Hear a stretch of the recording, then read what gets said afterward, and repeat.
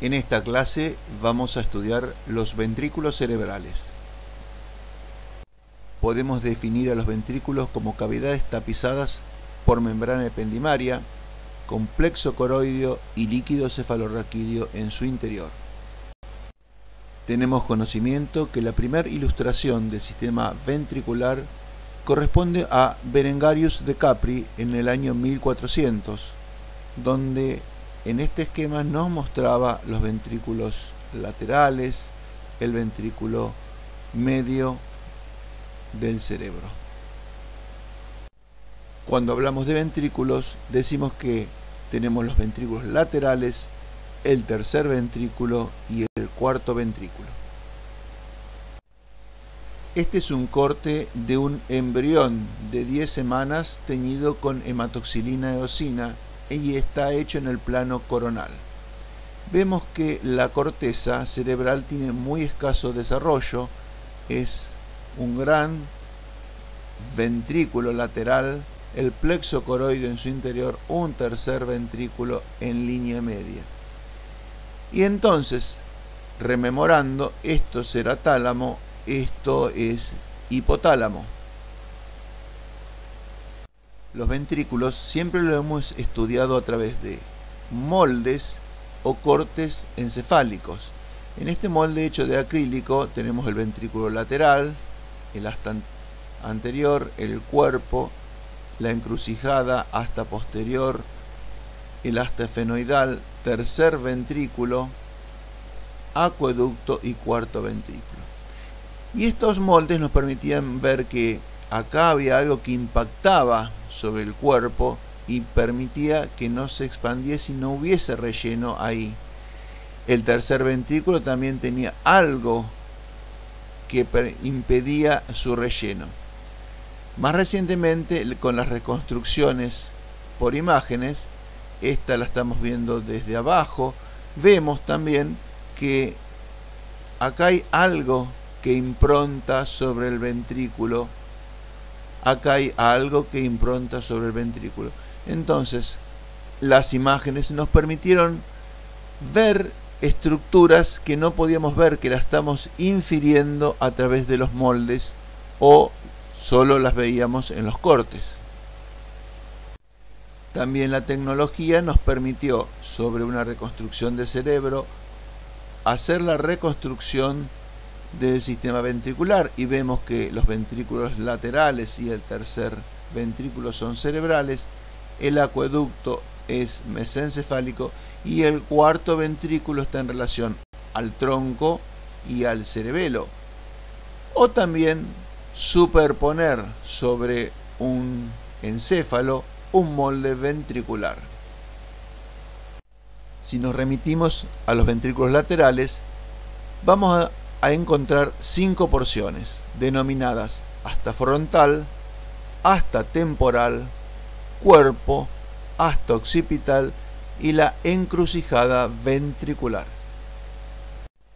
Volviendo entonces al molde, esto es el hasta frontal, esto es el cuerpo, la encrucijada, aquí nace el hasta occipital y esta es el asta esfenoidal o temporal del ventrículo lateral. Recurriendo a la reconstrucción de imágenes, podemos ver los ventrículos laterales, hasta frontal, cuerpo, encrucijada, hasta occipital, hasta efenoidal. Y veíamos en el acrílico que había algo que impactaba sobre el asta frontal que corresponde a la cabeza del cuerpo caudado. Esto es el cuerpo y esto es la cola, que es lo que impacta sobre la cara interna del asta esfenoidal.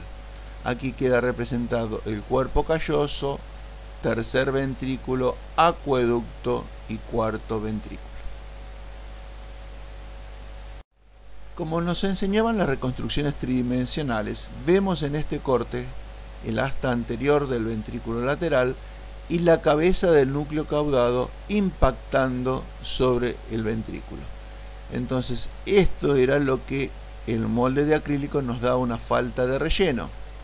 es hasta anterior, tercer ventrículo, glándula pineal, tubérculo cuadrigémino superior y los inferiores allí. Y acá en el corte está pasando algo del atrio ventricular. Si cortamos un poco más arriba, tenemos cuerpo calloso, el septum, el asta anterior, el cuerpo y acá ya hasta occipital con el plexo coroideo en el interior del ventrículo. La imagen nos va a mostrar por dónde está pasando el corte que vamos a señalar. Está pasando más arriba que los anteriores. Vemos el plexo coroideo en el interior del ventrículo lateral, el septum y alguna arteriola que se destaca mayormente. Y estas son imágenes endoscópicas donde vemos la pared del ventrículo, como las venas vienen hacia el plexo coroideo, que lo estamos viendo ahí. Las venas recorren la pared para venir a desagotar en las venas que están circulando junto al plexo coroideo. La imagen que nos señala por dónde está pasando el corte es un corte axial, cuerpo calloso, hasta anterior del ventrículo lateral, cabeza del núcleo caudado que se denota muy bien y cuando el asta del ventrículo supera la cabeza del caudado decimos que el ventrículo está agrandado y es lo que se conoce en clínica neurológica como hidrocefalia. Acá tenemos tercer ventrículo, la encrucijada y el plexo coroideo en su interior. En este otro corte vemos algo de hasta anterior, tercer ventrículo, comisura intertalámica, comisura blanca posterior y muy bien el hasta occipital con el plexo coroideo en su interior. En esta imagen lo que se hizo es resecar parte del lóbulo temporal para exponer el asta esfenoidal desde el atrio hasta su extremo anterior donde encontramos el hipocampo.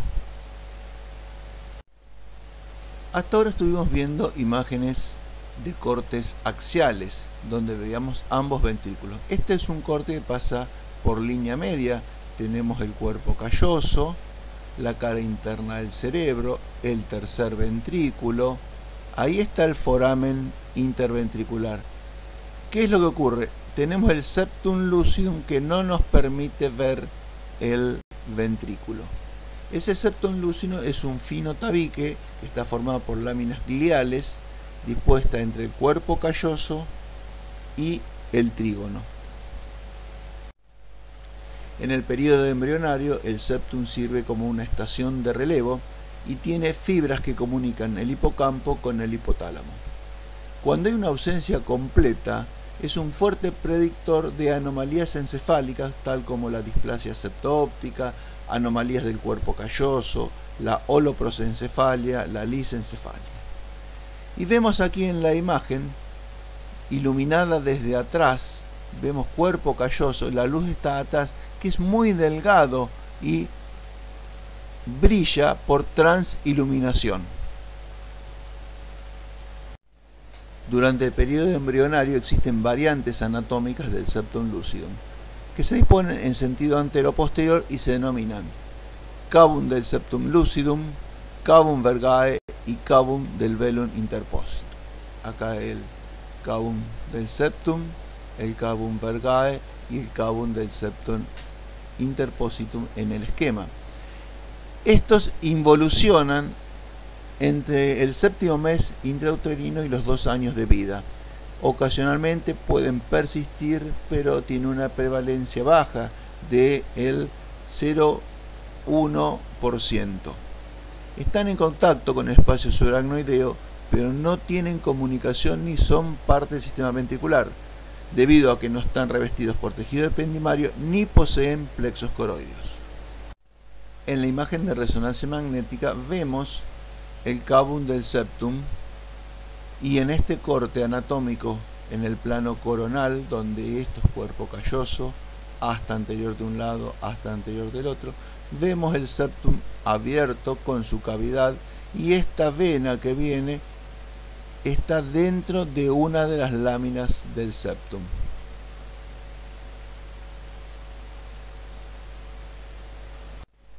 Otra imagen en el plano coronal, cuerpo calloso, ventrículo lateral de un lado y del otro y el septum abierto. Los límites de ese septum van a ser anterior la rodilla del cuerpo calloso, hacia atrás el cuerpo y las columnas anteriores del trígono, hacia arriba el borde inferior del cuerpo calloso, hacia abajo el pico del cuerpo calloso y la comisura blanca anterior. Obviamente los límites laterales van a ser las láminas del septum. El segundo hacia posterior era el cabum vergae, que es una continuación del septum lucidum. A veces se puede identificar un pequeño conducto microscópico que comunica ambos. Sus límites anteriores la columna anterior del trígono, el superior sigue siendo el cuerpo calloso, el posterior el esplenio del cuerpo calloso y el inferior la comisura hipocampal y la comisura fornicis. Si hacemos un corte en este sentido y esta altura, vamos a ver el cabum del septum entre las dos astas laterales del ventrículo. Pero si continuamos hacia arriba en el mismo estudio, vemos que hay una combinación de cabum del septum con el cabum vergae. Y la flecha nos está marcando el límite de separación entre ambos cabum. Por último, en sentido dorsal tenemos el cabum del velum interpositum, que lo vemos ahí señalado en la resonancia magnética. Los límites son hacia adelante la columna anterior del trígono, hacia arriba sigue siendo el cuerpo calloso, hacia atrás el esplenio del cuerpo calloso y hacia abajo la comisura hipocampal y el psalterium. Entonces, en esta imagen hemos quitado el septum y vemos el ventrículo lateral y cómo protruye el cuerpo del núcleo caudado dentro del ventrículo. Esto es pico, rodilla, cuerpo y rodete del cuerpo calloso. Tercer ventrículo, acueducto mesencefálico y ahí se empieza a ver cuarto ventrículo. Y este es un corte más parasagital. Tenemos el cuerpo calloso y la cavidad de el ventrículo lateral. Esto sería hasta anterior y cuerpo. Nuevamente la imagen que nos marca donde pasa este corte, tercer ventrículo, atrio, hasta occipital de un lado y del otro, y una cisura profunda que es la cisura calcarina, que hace una ligera impronta sobre el ventrículo eh, lateral. En este corte, que es sagital y es un cerebro con mucha atrofia, entonces las cavidades ventriculares están muy agrandadas, vemos en forma mucho más marcada esta impronta dentro del ventrículo.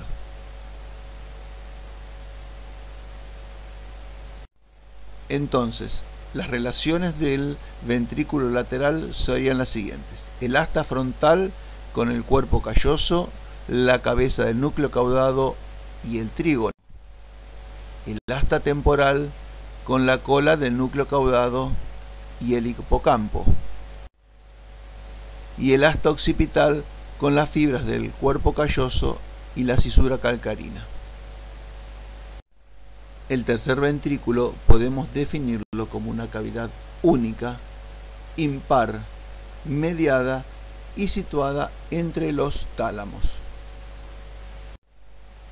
Anteriormente habíamos visto el ventrículo lateral en relación al núcleo caudado y nos quedaba muy bien la imagen de reconstrucción del tercer ventrículo.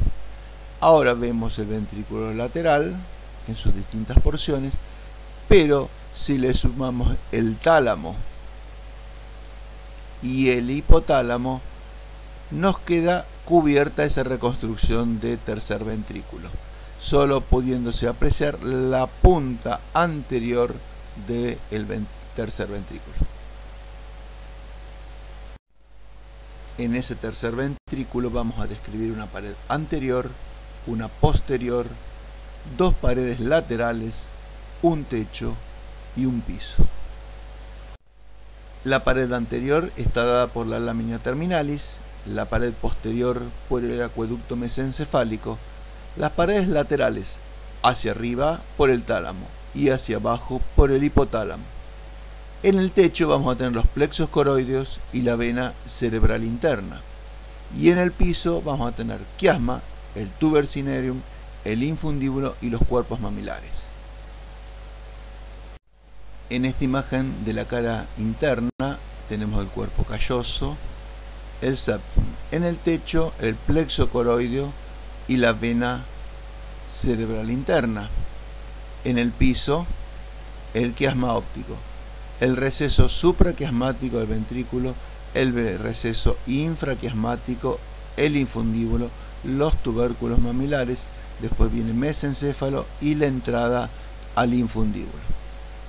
La comisura blanca anterior y la lámina terminalis.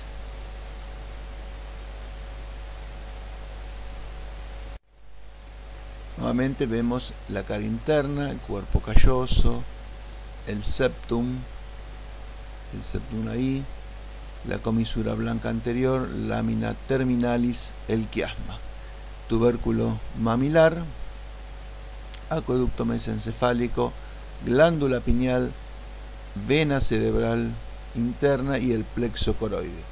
El pilar del trígono rodeando, remarcando el foramen interventricular, la comisura intertalámica y hay un sutil surco que separa el tálamo del hipotálamo, que se denomina surco tálamo hipotalámico. Hacia atrás vemos las tabicaciones de lo que es la cisterna de la glándula pineal. Como mencioné, la pared lateral es tálamo hacia arriba, hipotálamo hacia abajo. En esta corte axial con tinción de Well para mostrar fibras que se marcan bien, quedan pálidos lo que tiene núcleos como la corteza, el putamen, el tálamo queda pálido. Y en este mismo corte, pero en plano coronal, estamos viendo las paredes laterales del tercer ventrículo pálidas en contraste con lo que es la cápsula interna, lo que es cuerpo calloso, también que está pálido los tubérculos mamilares. O sea, todo esto es tálamo, todo es pues, hipotálamo y esta es la cavidad del tercer ventrículo. Estamos frente a un corte axial, el tercer ventrículo, la comisura blanca anterior, la comisura intertalámica, entonces todo esto es pared de tálamo, la comisura blanca posterior y el tubérculo cuadrigémino superior. Y esta es una vista endoscópica de esta comisura intertalámica. Así se la ve cuando ingresamos con el endoscopio al tercer ventrículo. Hacia atrás tenemos la comisura blanca posterior, la entrada al acueducto mesencefálico, hacia adelante los tubérculos mamilares, haciendo una impronta en el piso del tercer ventrículo. En este otro corte está pasando aproximadamente por acá, centrado en el tercer ventrículo, vemos la comisura blanca anterior, los pilares del fornix, la comisura intertalámica y el tálamo hacia adelante, la comisura blanca posterior, la glándula hipófisis y la comisura de la vénula. Y esto es el, la cápsula interna y la rodilla de la cápsula interna. La imagen que nos sitúa la posición del corte. Estamos viendo el ventrículo desde arriba, destechado, la vena cerebral interna hacia un lado y hacia el otro, la comisura blanca anterior, la comisura blanca posterior, la entrada al acueducto mesencefálico. Esto es la protrusión de los tubérculos mamilares de un lado y del otro. Un corte axial, cuerpo calloso, ventrículos grandes, dilatados. El asta anterior está sobrepasando la cabeza del núcleo caudado. Por eso vemos un, tercer ventrículo grande, dilatado. El tercer ventrículo es una hendidura. Este es el asta anterior, el foramen interventricular, la comisura intertalámica, la glándula pineal allí. Y esto es el asta occipital de un lado y del otro. En el corte coronal estamos mostrando cuerpo calloso, ventrículo lateral, foramen interventricular, el tercer ventrículo, esto es tálamo, esto es tálamo, y esta es la comisura intertalámica. Y este es un corte axial donde lo muestra más como una hendidura que en este caso, que es la forma real del tercer ventrículo. El tercer ventrículo es pequeño, es una hendidura. Hacia atrás, glándula pineal, tubérculos cuadrigéminos. El foramen interventricular es el orificio que comunica el ventrículo lateral con el tercer ventrículo y está formado entre el fornix por delante y el tálamo por detrás. Lo estamos viendo aquí en un corte sagital ampliado en el tercer ventrículo y una imagen endoscópica donde vemos al fornix, la vena septal, el plexo coroideo y esto que sería tálamo. El interior es tercer ventrículo, está tomado desde el ventrículo lateral hacia el tercer ventrículo. En este sentido está tomada la foto endoscópica. Si nos posicionamos en la parte anterior del tercer ventrículo, entre los pilares del trígono y la comisura blanca anterior, queda un pequeño espacio que se denomina receso triangular, que lo estamos viendo aquí en una imagen quirúrgica endoscópica, los pilares del trígono, la comisura blanca anterior y esto que es el receso triangular en el sector anterior del tercer ventrículo. Continuamos en la parte anterior del tercer ventrículo. Ahí vemos los pilares del trígono, la comisura blanca anterior que se ha despegado y se ha rebatido. Y esto que era el receso triangular. Todo esto es tercer ventrículo. Ahí está la cintilla a un lado y al otro un corte coronal, el tercer ventrículo, la comisura intertalámica, esto es comisura blanca anterior. En el corte axial, una persona joven, comisura blanca anterior, pilares del trígono, comisura intertalámica, comisura blanca posterior, tubérculos cuadrigéminos y vemos que el tercer ventrículo es una hendidura, no es una gran cavidad como he mostrado anteriormente, y eso es debido a que la mayoría de los preparados son de personas añosas, donde tienen atrofia eh, cerebral. A este corte que se ve la comisura blanca anterior, la talámica y la posterior se denomina tricomisural. Vemos el tercer ventrículo desde arriba, pero en una imagen macro, lóbulo temporal, nervios ópticos, cintilla, quiasma, el tercer ventrículo destechado. Entonces, a mayor aumento, esto es uno y otro pilar del fornix. La imagen del tercer ventrículo varía si lo vemos desde adentro del tercer ventrículo, como es esta imagen, donde todo esto es tercer ventrículo, nervio, quiasma, lámina terminalis, tubérculos mamilares, entrada al acueducto, comisura blanca posterior, glándula pineal. Todo esto es pared hipotalámica, pues es un corte bajo, este es el piso del tercer ventrículo.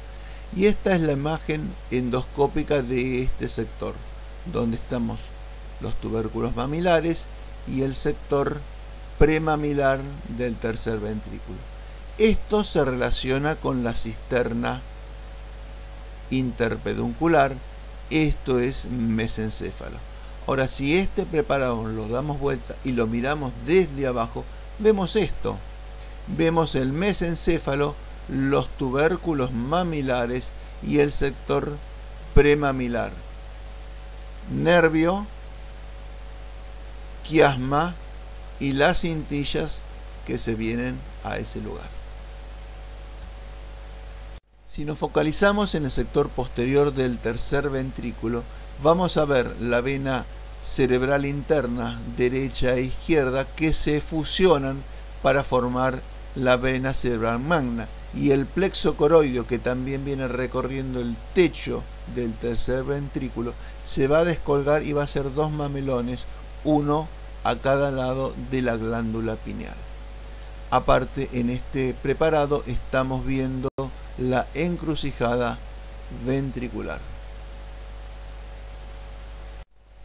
Estamos viendo un preparado clásico del sector posterior del tercer ventrículo, la entrada del acueducto mesencefálico, la comisura blanca posterior, la glándula pineal y este acueducto mesencefálico en una vista endoscópica con una forma ligeramente redonda y de un diámetro de aproximadamente un milímetro. La endoscopía que he mencionado en varias oportunidades es un procedimiento que nos permite entrar adentro del ventrículo. Este es un endoscopio, acá está en el esquema, hacemos un pequeño orificio en el cráneo hacemos la tunelización atrás del cerebro entrando al ventrículo lateral y de ahí podemos llegar al tercer ventrículo. Con estos procedimientos endoscópicos pueden ser diagnósticos o terapéuticos. En este video vamos a ir evidenciando el receso suprapineal, la comisura venular, el receso pineal, la comisura posterior y hacia adelante la entrada al acueducto. Entonces en el vídeo vemos la comisura venular, comisura blanca posterior, la entrada al acueducto mesencefálico.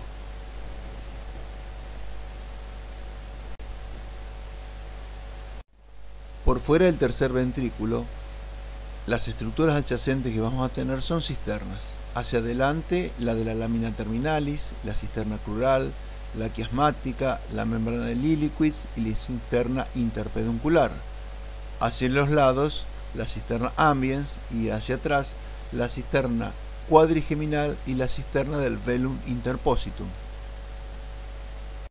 Las venas del ventrículo son subependimarias y drenan los núcleos basales, el tálamo, cápsula interna, la sustancia blanca profunda, el cuerpo calloso, septum, el fornic y el plexo coroideo y les he mostrado en las distintas imágenes la vena cerebral interna, la vena septal que está en el centro de la imagen.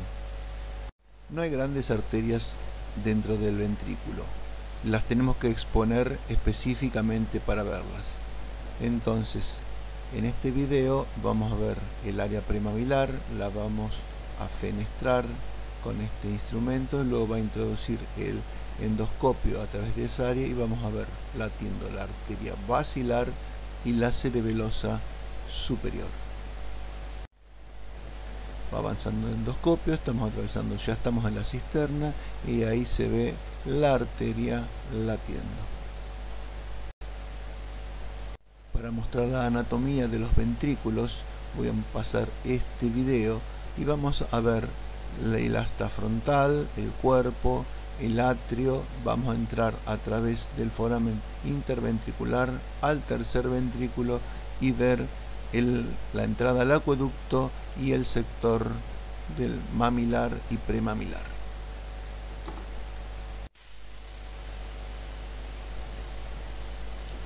Entonces ahí estamos ingresando con el endoscopio, estamos viendo los pilares ahí, esto es tálamo, la vena septal, plexo coroideo. Estamos posicionados frente al foramen ventricular.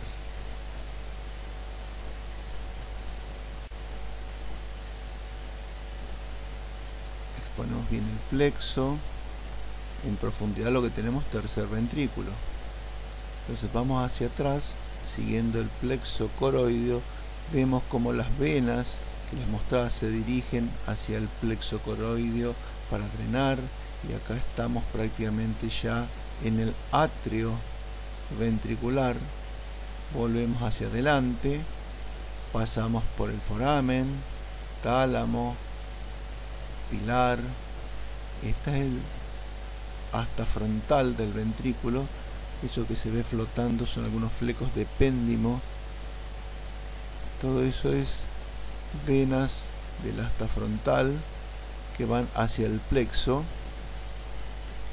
Y volvemos hacia el foramen. Nos vamos acercando.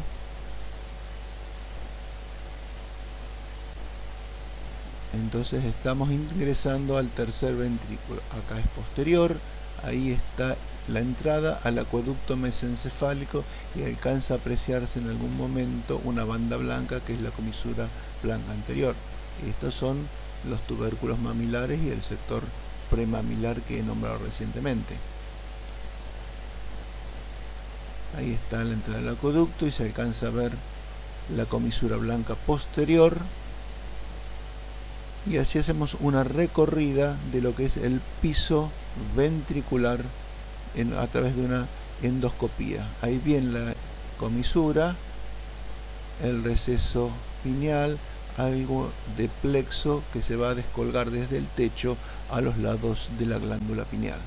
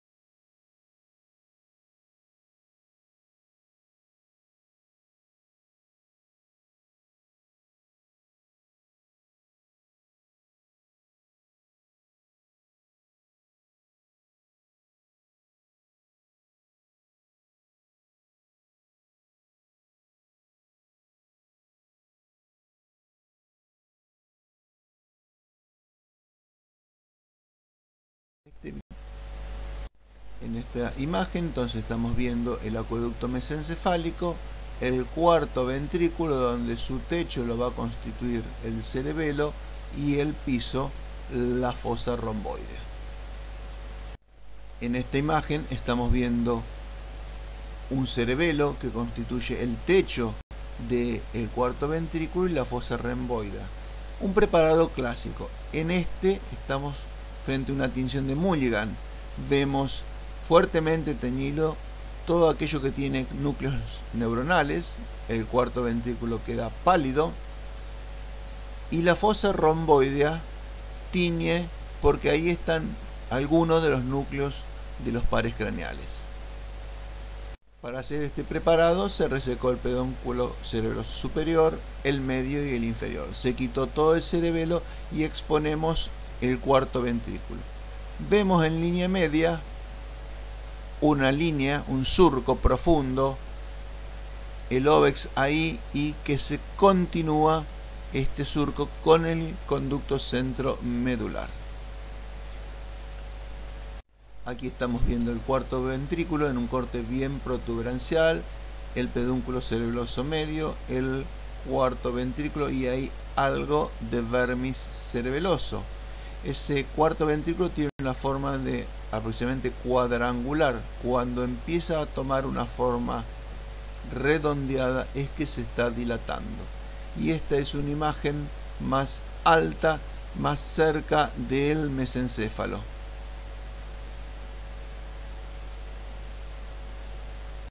El líquido cefalorraquídeo va a salir del cuarto ventrículo a través de dos forámenes, uno medial y dos laterales. Entonces hemos resecado la mitad del tronco, parte del cerebelo y estamos mirando el receso lateral para mostrar el foramen lateral del cuarto ventrículo en una vista endoscópica. En la descripción del piso del cuarto ventrículo debemos nombrar a la eminencia teres, que corresponde a los núcleos del séptimo y sexto par, a las estrías acústicas, al trígono del hipogloso o a la blanca, al trígono del décimo par o a la gris, y hacia arriba la entrada del acueducto mesencefálico. Para explicar el piso del cuarto ventrículo voy a recurrir a un esquema. El surco mediano lo veíamos muy bien en el preparado que le mostré. Entonces estamos viendo, por ejemplo, la eminencia del colículo del facial y de ahí está también el sexto par, la eminencia media, las estrías medulares, el ala del hipogloso, el ala del vago y las estrías medulares. Y acá que no tenemos cerebelo, el pedúnculo cerebroso superior, el medio y el inferior. Bueno, aquí le estoy mostrando el esquema anterior y un preparado. Vemos bien el surco medio, vemos algunas estrías, vemos la eminencia media, el ala blanca y gris, pero no vemos esta definición de detalles. Y en este otro preparado también vemos el surco medio, la eminencia, algunas estrías, pero es muy difícil identificar todos esos elementos que se ven en el esquema. Esta es la imagen endoscópica del piso del cuarto ventrículo, entonces nos vamos a posicionar con el endoscopio aquí, vamos a ingresar en el cuarto ventrículo donde esto es anterior, esto es posterior. Ahí estamos empezando a ver piso del cuarto ventrículo.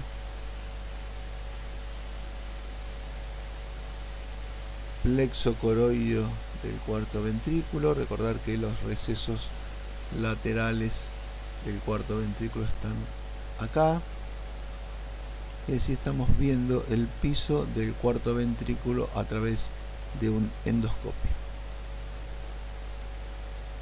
La tecnología es un gran puntal en la mostración de las cavidades ventriculares.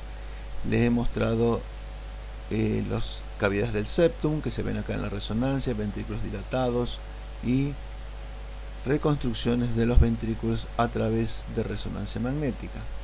En la práctica la resonancia nos permite ver la forma de los ventrículos, hacer reconstrucciones, ver los ventrículos, ver senos, ubicar el tumor en la resonancia magnética.